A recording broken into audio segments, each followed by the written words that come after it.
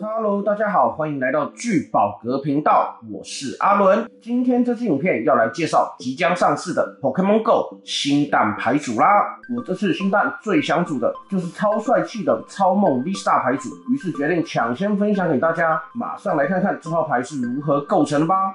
首先介绍宝可梦的部分。第一章要来讲的当然是牌组核心超梦 V Star，第一招精神光芒，把自己宝可梦身上最多三颗超能拔掉，每一颗打九十点，最高可以打到两百七十点伤害，搭配头带轻松超过 V Star 血线，算是不错的伤害招式。V Star 力量，星星袭击。对手所有 V 宝可梦受到一百二十点伤害，伤害还行的扑伤手段，主要是用来气绝残血躲到备战区的宝可梦，或者是先手二回没办法老大击倒 V 怪时，也可以优先选择扑伤，让对手的 V 怪全部进入把两人击倒的斩杀线，算是弹性很好的 Vista 招式了。超梦 V 和 Vista 各带两张。再来是整套牌的运转核心黑马雷冠王 V Max 特性，从手上填一颗基本超能到备战区的超属性宝可梦身上。然后抽两张牌，没有限制，一个回合只能开一只的特性，所以尽可能进化出更多的黑马，就能获得大量的填能和抽率，刚好补足超梦需要拔超能拼伤害的运作模式。另外，黑马的招式极具之魂基本十点，场上每颗超能量加三十点，让它本身也有不错的打点，不用担心超梦被弃绝后没有后续打手的问题。黑马 V 和 V Max 各放四张。除了黑马之外，还带到了克雷瑟利亚这个后手填能的选项。第一招星月生长，从牌库里选择一张超能贴到自己的宝可梦身上。如果在第一回合使用，改成选三张填能，万一拿到后手的情况。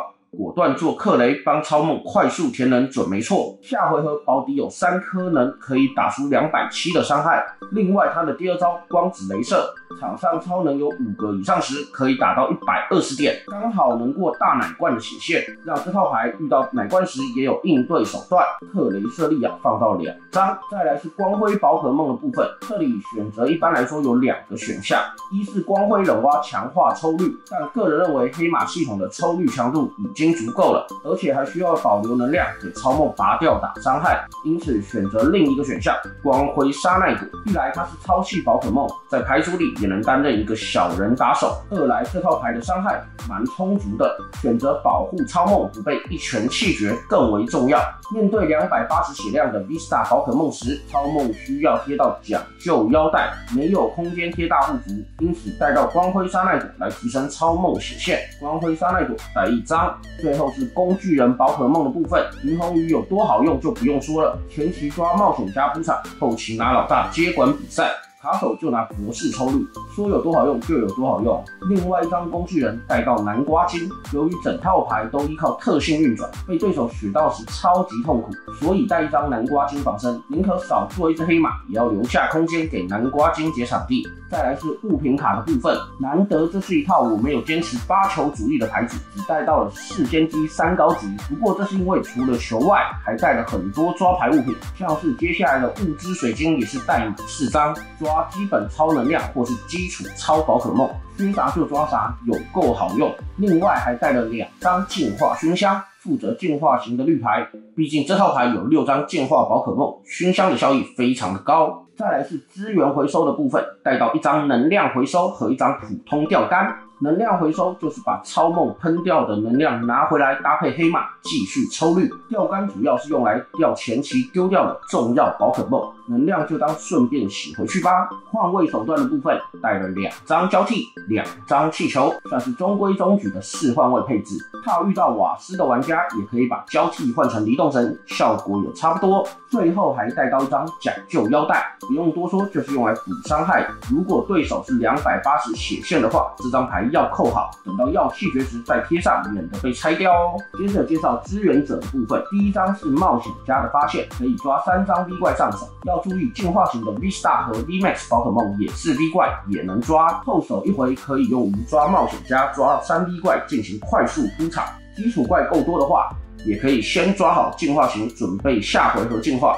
再来是老大的指令，带到两张，因为前面说过超梦有机会打出 Vista 气绝备战区受伤的宝可梦，对于老大的需求就不会这么高，因此只带两张。抽绿人物的部分，标准的三博士三玛丽，要改成四比二或是二比四也行，用自己习惯的配置就好。再来场地卡的部分，不用多说。黑马唯一指定场地训练场地啦，每回合都能从弃牌区拿一颗基本能回手，让黑马持续抽绿，加上不怕超梦丢到没超能的优秀场地。训练场地带两张，最后能量的部分带到十二张基本超能量，因为这套牌的主要打手是超梦，不是黑马，所以就没带到十三超了。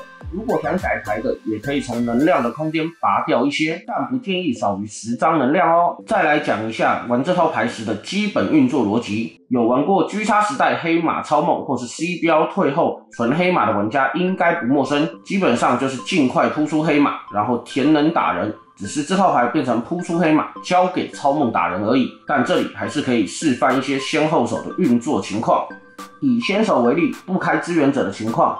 高几率是没有办法扑出大量黑马，这个时候就可以先手填超梦，设定下回合去开超梦 Vista，因为是先手，比较不怕落后轮次。完成后，接下来的血线几乎都是填两能就可以弃绝，甚至有机会用黑马或是沙奈朵补上最后的伤害。二回的目标就变成优先进化出超梦填能，其他的资源再拿去进化或是扑出黑马。当然手顺的话，黑马加超梦都进化完成。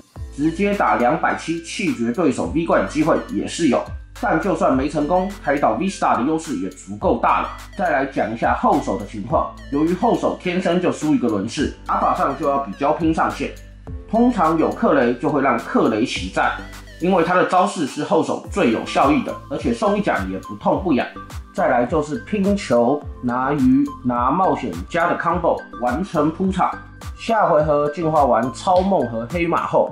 一拳两百七送走对面，在有两只黑马抽绿的情况下，是蛮容易完成的。万一伤害不够气绝的话，一样选超梦 Vista 突伤，或是考虑转用黑马当主打手，先上去打一拳。因为黑马血量在当前环境高几率是不会被一击气绝的。今天的影片就到这边，喜欢我的影片欢迎订阅、按赞，并且开启小铃铛。有任何问题或是建议，也欢迎加入聚宝阁赖社群和我一起讨论哦。另外，还没有预购 Pokemon Go 补充包的玩家，也可以点击下方链接到聚宝阁网站购买。那么，我们下部影片见，拜拜。